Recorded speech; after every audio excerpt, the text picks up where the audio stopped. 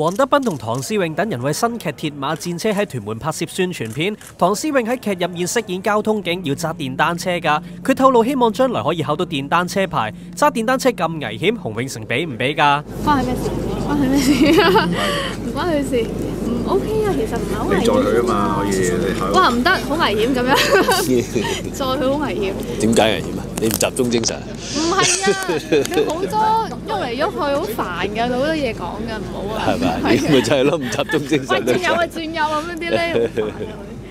即係佢反對你揸電單車嘅話，咁你點算啊？佢冇喎。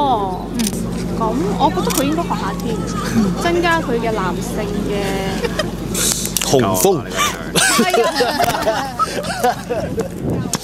唔夠咩啊？唔夠咩？哦，睇住，睇住小心你睇我哋阿 Sir 幾 man，誒，雄風佢好。